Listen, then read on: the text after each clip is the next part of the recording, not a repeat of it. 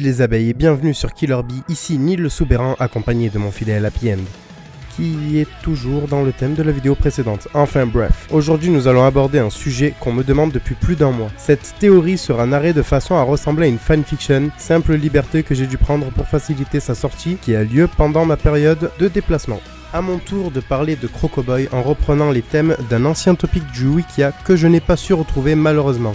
Mais j'y ai ajouté mes détails et j'espère que cette théorie vous plaira autant qu'elle m'a plu. C'est la première fois que je diffuse une théorie n'étant pas de moi, mais j'ai vraiment accroché alors je vous présente ça tout de suite. Sachez qu'elle n'a pas été trouvée dans les fesses d'Onigumo et qu'aucune Robin n'a été maltraitée pendant l'enregistrement. Le thème Crocoboy est un éventail de théories faisant toute référence au secret qu'Ivankov détient par rapport à Crocodile. Alors avant de commencer, non, Crocodile n'est pas une femme.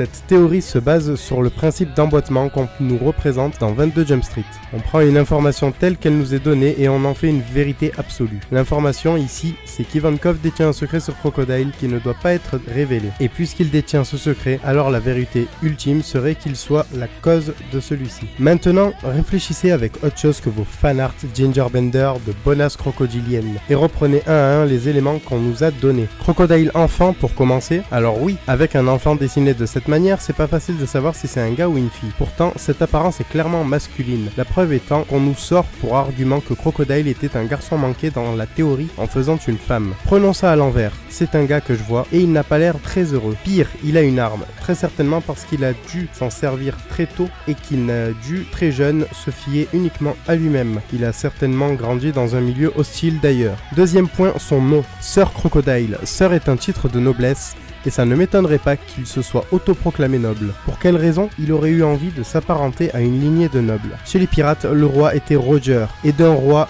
découlent des nobles.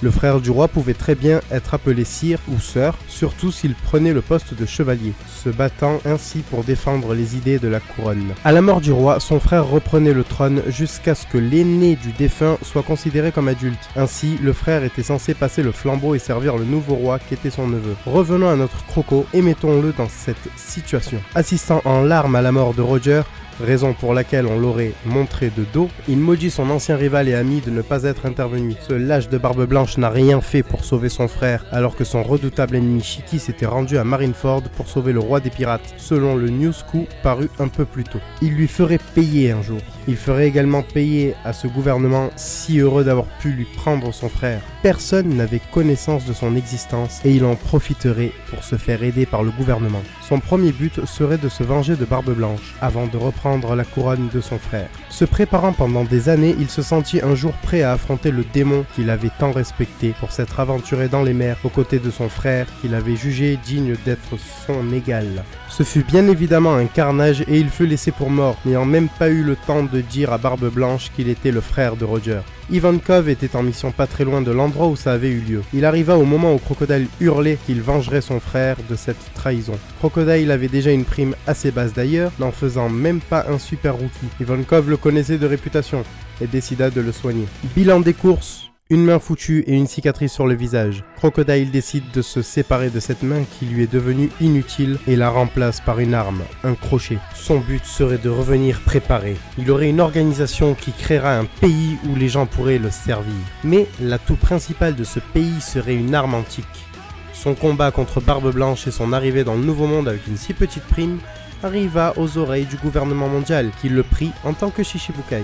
Survient alors sa défaite face à Luffy, alors qu'il était proche de son but. Il se fait capturer et emmener à Marineford. Il va même jusqu'à refuser son évasion et accepte son sort en attendant que quelque chose retienne son attention. Il voit un barbe blanche affaibli se lançant dans une nouvelle guerre et décide donc de saisir l'opportunité de l'abattre. Mais Ivankov est là et connaît l'histoire de notre petit Crocoboy.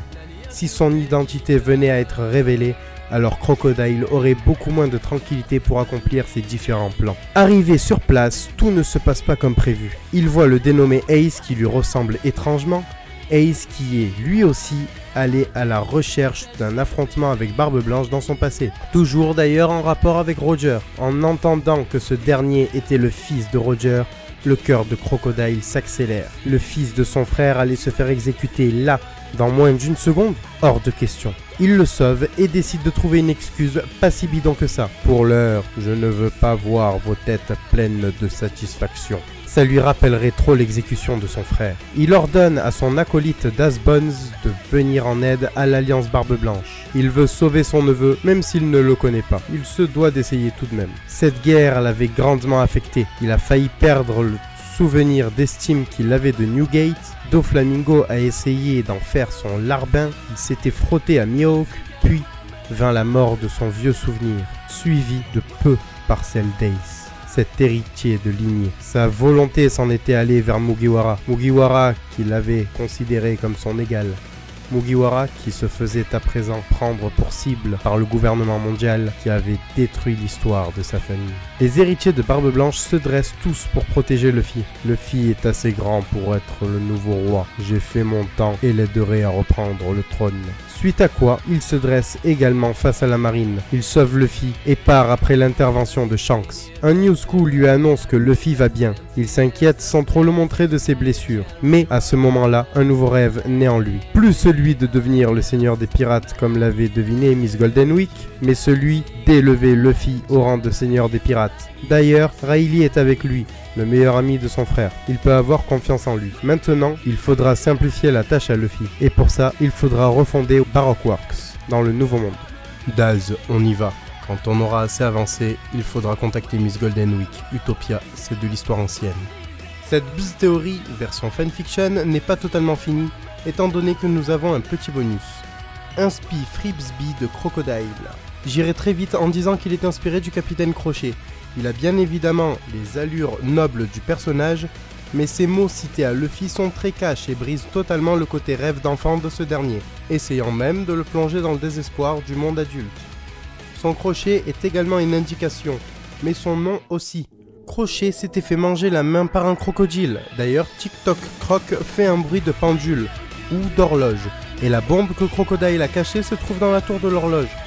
Miss Fatherday et Mr. Seven apparaissent comme étant un leurre avant qu'une bombe à retardement fasse aussi tic-tac. Crochet a dupé Clochette avec une bombe à retardement. Le lien est vite fait. Le rêve, l'idéal est une notion très présente entre Luffy et Crocodile, ce qui pourrait faire référence aux oppositions politiques de Neverland entre Peter Pan et Crochet. Bon, vous comprendrez pourquoi cette vidéo m'a pris autant de temps. J'espère qu'elle vous convient.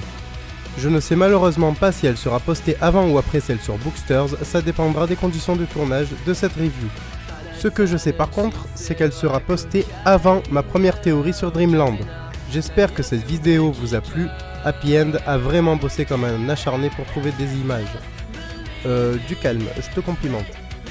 N'hésitez pas à mettre un pouce bleu, à vous abonner, laisser un commentaire, partager à tous vos nakamas ou encore à nous suivre sur nos réseaux présents en description. Je pense aussi que les vidéos précédentes vous intéresseront. Bis mes abeilles et à très vite.